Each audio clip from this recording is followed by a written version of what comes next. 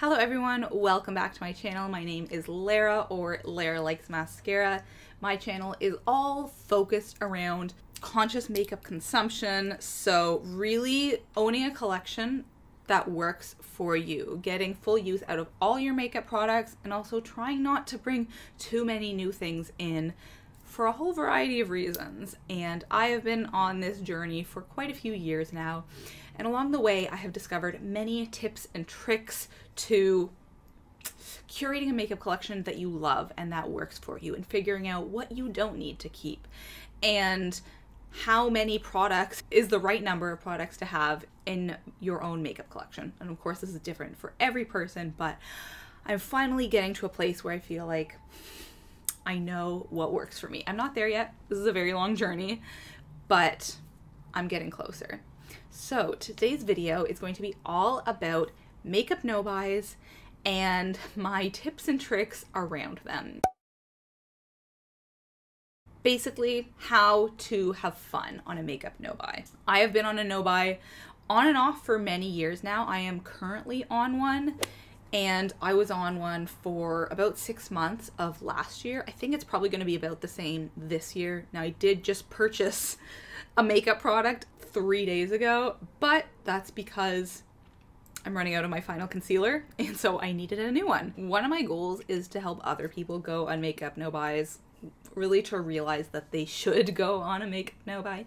Because if you had told me this a few years ago, well, maybe more than a few, maybe like six years ago, you just it would have been very hard to convince me because I loved bringing new stuff into my life. I never finished any products. Like that was just not something I did. I would just bring new things all the time, and so I've never finished my older products. So I didn't realize that I had essentially a makeup addiction or like a makeup hoarding problem. I thought this was just how it worked. Like you just you amass as large a makeup collection as possible. I really thought that was the goal. Now my goal is the exact opposite. I want my makeup collection to be as small as possible while still serving me as best it can and owning products that I love and you know having a lot of creativity within that and feeling like I can do a lot of different looks and be very just be creative. So, I know that makeup no buys are challenging or or daunting to some people because they're like, "Oh, I couldn't I couldn't do that. I couldn't stop buying makeup." Or because they feel like it wouldn't be a good time. It would be like, "What's the point with makeup if you can't keep track of new launches and pick out the products that you want the most and then purchase them with the Sephora sale or as a little treat when you had a bad day, then like makeup's not fun if there's no new products." And so I really had to turn my mind around and realize that no, actually, makeup itself is fun. Everything about makeup is fun, not just the bringing new things and trying out fun new products. That's not the only thing that's fun about makeup. Doing your makeup is fun. Getting creative, trying different types of looks, and trying products in ways other than how they were intended. There's so much about makeup that's fun.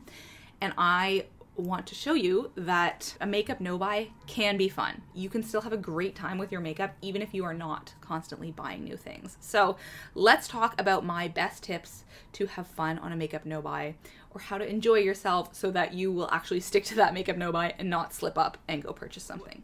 I've done similar videos to this before, but it is 2024 and I figured it was time for a new one, a refresher. So my first tip is to start some makeup projects.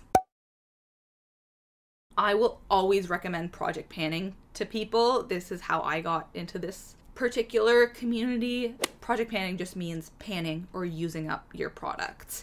Hitting pan means hitting the bottom of a product. So for example, this blush, I've hit pan there, you can see. And that is one of the best ways to use up your products by making it a game, gamifying it, and creating a project pan. So selecting a bunch of products that you tell yourself you should focus on these products and try to use them up within a certain amount of time. So I document this on YouTube. You certainly don't have to, but you know, if you wanted to take pictures for yourself so you can track the progress or whatever, I recommend doing that even just for yourself so you can see the progress that you are making. So Project Pan is like the mainstream option, but there's so many other types of projects you can do. Beg your pardon. There's so many other projects you can do Right now, I am doing a blush roulette, which is not panning exactly, but it is me trying to get use out of all my projects. I will link that series here. Basically, I have a lot of blushes that I never reach for, and so I am taking one month per blush to actually focus on it and get to know it better. So, for example, this is the blush that I will be using in the month of May, and I'm going to try to get as much use as I can out of it because I never reach for this blush. Same with this palette I just showed, I never reach for it, and so having it in this project, in this blush roulette, forces me to use these products that I do like and enjoy, but I just don't organically reach for them. So this is a fun way to really get more use out of your products, get to know your collection better, and keep it interesting and still be working towards goals and having like satisfying events or occurrences in your makeup life because sure it's it's fun and satisfying to open a new makeup product, but it's also fun and satisfying to finish something. To completely pan this blush would be a very impressive and that would be extremely satisfying. So project panning is very satisfying in and of itself and so I recommend doing products like that. Graveyard project pan where you focus exclusively on products that are a lot older in your collection. Lipstick project pan where you're focusing exclusively on lip products. This is one that I am trying to pan this year, this Tower 28 lip gloss. There's there's so many options. It doesn't have to be just about using things up. You can do a project where you do a fun lipstick every day of the week. Do a different color. Monday's red lipstick, Tuesday's black lipstick. You know what I mean? Like, just play around and do things so that you're still having fun in your makeup collection and challenging yourself and realizing that you have a lot of makeup already. My second tip is more specific to people who are going on a makeup no buy for financial reasons. If you realize that you're just spending way too much money on makeup and that's not great. It's making you feel kind of icky, or you feel like you should be putting your money elsewhere. And that tip is to have makeup swaps with your friends. Of course, eh, this assumes that you have friends who are into makeup, but I don't really have friends who are into makeup, but I do have friends who wear makeup. I feel like most of my friends wear at least a little bit of makeup. So it's fun to swap with them. I recently had a clothing swap and I included a caveat that people could bring stuff, like just random stuff that they're trying to get rid of. People brought like teas, wine glasses, and some makeup products, and this was very cool. Shauna actually came to this swap, my friend Shauna Rapari here on YouTube, and she got some makeup products out of it, which is amazing. This is such a cool way to bring makeup products into your collection without actually purchasing them. Again, if that is one of your worries. This is also a great way for you to declutter your collection if you're trying to do that. Like you don't even need to take anything away from the makeup swap, but just bring products that you want to declutter and your friends will be so pleased to get these products that you no longer want. Especially if you're the one who loves makeup and they don't have as much makeup, they will be thrilled. So yes, highly recommend makeup swaps, clothing swaps, whatever. Do this sort of thing with your friends. Even if it's just like three people, if you're having a movie night or whatever, highly recommend. I have got some real gems from makeup swaps from friends. Another tip to make your makeup no buy fun also relates to friends, and that is to do this with a friend. So, if you're planning to start a makeup no buy at the beginning of January or beginning of new month or whatever, you are much more likely to stick to it if you are accountable to something or someone. So even if this is not like taking pictures of your project pan progress and posting it on Instagram or like just for yourself, if you just tell a friend that you are going on a makeup no buy and you get them to join with you, you are much more likely to stay accountable and to stick to it because there's like there's stakes, you know? You told them that you were doing this. This is the case for like any kind of project or, or challenge that you go on, if you do it with another person, you are much more likely to stick to it because you're doing it together. You've got each other's backs. So find other people who are in this like headspace as well as you. That will really help. If all of your friends go makeup shopping all the time and take regular trips to Sephora, that's maybe not going to help your makeup no buy. So find someone else who is like minded. The next tip has to do with creativity, which I mentioned before. And this has been great for me personally because I I've always loved makeup, but I didn't used to be very creative with it. It actually took me going on this conscious consumerism journey to get out of my comfort zone with makeup. Even something like this eyeshadow today, this like pink sparkly eyeshadow, which is fairly basic, like I'm just using one color, is like kind of bold, right? Like, I feel like most people would not wear a bold look like this. My makeup abilities and preferences, I think, have gotten a lot more interesting since going on this makeup no buy because I have constraints. I can't bring new products into my collection, and so I want to be creative with what I do have, whether that means using lipstick as blush, using lip liner as eyeliner, trying out different eyeshadow looks, and trying out all cream products and then all powder products. Like, use what you have in your collection to your advantage. Try things out in different ways and really have fun with it. See what you can do with your collection. I am currently trying to wear red lipstick like on the daily, just to the grocery store, whatever. I'm trying to like normalize that, which is kind of getting me out of my comfort zone. And it's definitely not something I would have done before. But this just comes because I'm trying to use what I have. I have a lot of red lipstick products. So I I should use them. I should try to have fun with that rather than instead going out and purchasing some nude lipsticks, which is more my comfort zone. Use what I have. Wear red lipstick. Why not? And sort of along with this, try out different styles, different colors, because I've had to focus on what I have rather than looking outside. I've gotten to know the products that I do have much better and figured out my preferences. So, okay, here are some of my preferences. I only like warm eyeshadows. I hate cool tones. I think they look really, really bad on me. Greens sometimes can be okay. Blues, not good. Blues are so bad on my eyes. Grays, absolutely not. Silver, no way. Those are the eyeshadow shades that I avoid, but I love a pink, an orange, like an orangey brown, but the brown has to be the right shade of brown. Can't be too dark these are just some of the things that I've realized because I've had to look internally at my collection. I also much prefer cream products now. I used to only prefer powder, like blushes and bronzers and all that. All of this has come about because of my makeup no buy. So really play around with your collection, try out different styles. Maybe you'll figure out something that you would not have figured out otherwise. A color preference or a type of makeup look the focus has shifted. It's no longer about bringing things in and looking at what's out there and the new products.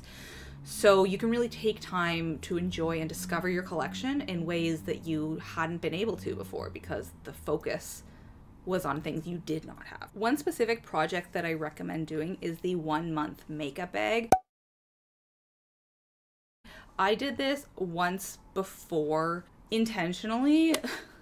I probably should do it again, to be honest but I'm just having a lot of fun in my makeup life right now, so I don't really want to constrain myself at the moment. But I did this about two years ago. So essentially, what it is is you have your regular bag of makeup, your daily makeup bag, whatever you use, and you keep that constant, you keep that the same for an entire month. So kind of like what I do with my blush roulette where I focus on one blush. This is a bad example because there's two. But all of the products that you use for that month remain the same. You can't swap out a blush, you can't swap out a mascara or an eyeshadow palette. You exclusively use those products. And what's great about this is obviously, yes, you get lots of use out of those products, especially if they are products that you are trying to pan. But when you finish that month and you swap other new things in and you get to see the rest of your collection, it feels like, wow, I have so much makeup. I have so much variety. I have so many products. I had to focus on one blush, but now I get to use all five of my blushes or all 15 of my blushes or however many you have. 40, I don't know. When you get back the rest of your collection, it will feel like so much variety that you're like, why would I even need to go out and buy new products because I have so many? So I know Chloe Marriott also did this on YouTube and she talked about what a breath of fresh air it was when she finally got the rest of her collection and it just felt like everything was new and exciting. And so this kind of like psychologically is useful in, in getting your mind to see your collection as large and as fulsome. Another tip that I have is to plan your future purchases. So I'm assuming that this makeup no buy is not like a forever thing. You know, maybe it's six months, maybe it's a year, whatever it is. At some point, you're to go off that makeup no buy and you are going to purchase some products. Maybe they're just the products that you need, but maybe they're fun things too. And so I have really enjoyed planning out the products that I am going to buy when I finish my makeup no buy. The anticipation of those products, like the lead up, makes it so much more exciting when you finally purchase them. This is another psychological trick, like the one month makeup bag thing, where anticipation for something actually increases enjoyment of that thing itself, whether it's like going on vacation and, and getting excited for the trip or whatever it is. Like, if you are excited about a thing, you actually enjoy that thing more. So, plan your future purchases. There are a couple of things that I need. The Sephora sale is on currently as I'm filming this, and I'm picking up a couple of things and I really had a good time like planning those items out, looking at different reviews and different videos and trying to figure out what's the best concealer for how much I want to spend and cruelty-free brand that I enjoy. I, I really like looking at reviews and figuring out what I'm going to buy. And another benefit of this is that hopefully, if you have a lot of lead up time to those purchases, they're going to be well thought through purchases. They're not just going to be spontaneous, last minute decisions, the things that you saw at the store and you're like, ooh, I'm going to grab that. These are going to be things that you planned. They're going to be conscious purchases. They're going to be things that you probably enjoy and feel like a good use of money and that you actually are going to use because you know you need it or it's filling a gap in your collection or because you watch enough reviews, you know it's a good product. So hopefully no impulse purchases will happen if you plan out your purchases like this. A few days ago I was going through Sephora's website and harding items that I want so I have, you know, on my page things that maybe in the future I will purchase, not for this Sephora sale, but perhaps some point in the future and I have a lot of time to think through those purchases and figure out if they do make sense or not. I would recommend not going overboard on this though because there's a possibility that like spending all this time on Sephora's website and looking at different makeup products you would just be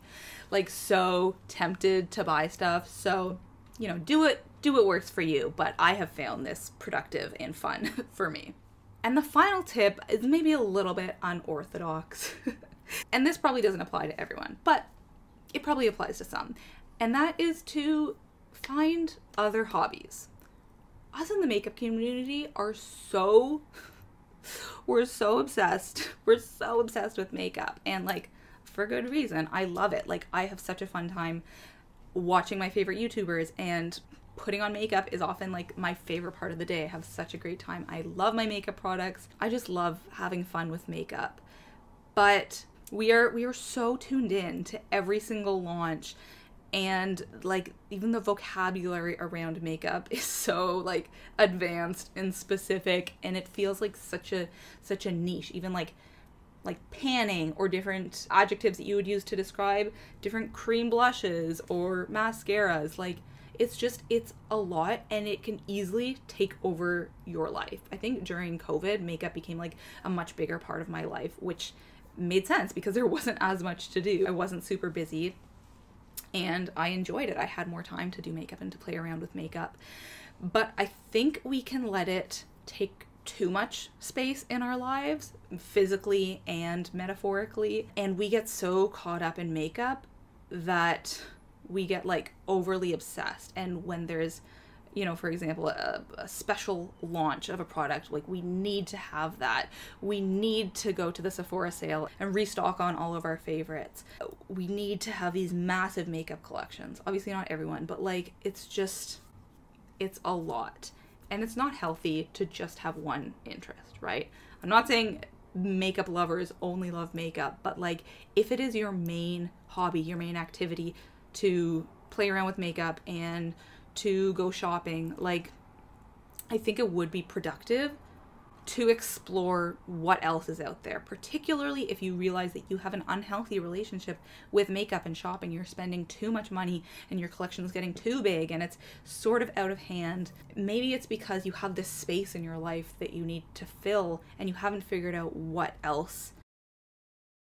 Just keeping up with makeup is extremely time consuming. And maybe the issue and why we're so obsessive with makeup and keeping up with trends and everything is that like we don't have other stuff to obsess about, to be interested in. I know recently, like Shauna, Rebecca Morgan, and Sarah Rose have all talked about other hobbies that they've gotten into lately. Shauna has gotten into art. Sarah Rose has talked about doing ballet classes. Rebecca Morgan, I'm just watching a video now, and she was talking about other activities she's been doing while taking a step away from YouTube.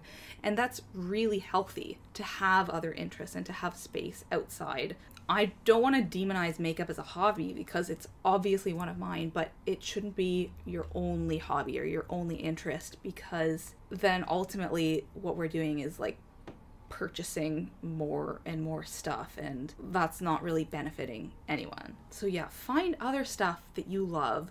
Still keep your love for makeup, but if you if makeup is your only interest, like I think you need to explore other options there's so much out there. Sort of a strange uh, thing to end on, but just a reminder. So that is it for today's video, but let's talk about a book that I've been reading lately. And I hope that all of these tips were helpful if you yourself are embarking on a makeup no buy or struggling to stick to it and enjoy it. Hopefully this helps. So the book that I've been reading is called The Unquiet Dead. I actually am not very far in. 70-ish pages. This is by Ausma Zehanat Khan who, okay, I thought was a Toronto writer, but I'm reading her Oscar bio and it says that she's a British born Canadian who lives in Denver, Colorado. But it takes place in Toronto.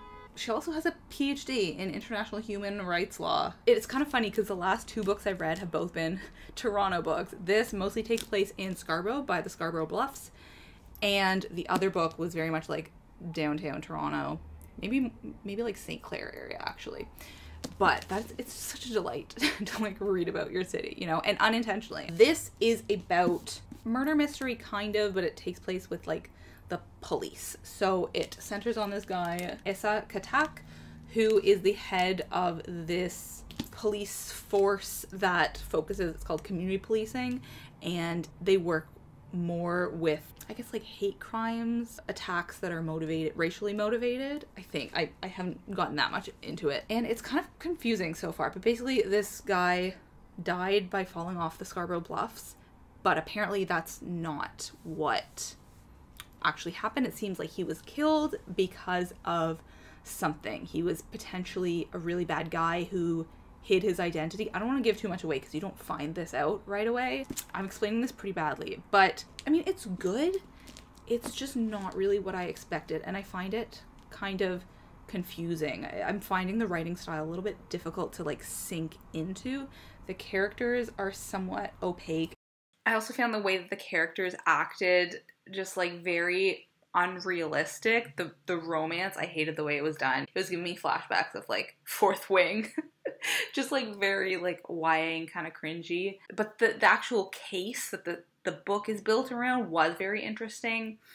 So I'm glad I read it. I don't think I will be continuing with this series. It did remind me of other mysteries I've read that have been done better. At its core, it was about a particular moment in history that I was completely ignorant of, which I am uh, not proud of. I don't want to give away what it's actually about because that is kind of a spoiler, but I'm glad I read it, but I won't be continuing with the series. Also, the ending was cut off, so thanks for watching. Bye.